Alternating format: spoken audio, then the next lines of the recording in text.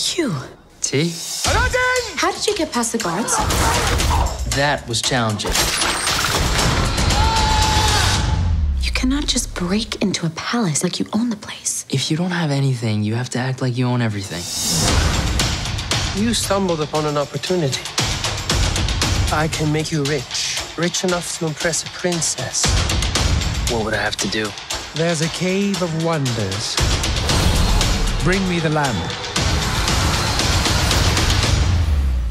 Great one who summons me, I stand by my oath, loyalty to wishes three. I'm kidding. Rush this.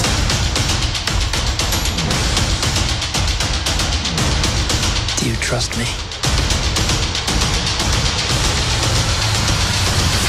Pladale. Do we need the top knot? That's my little cherry on top.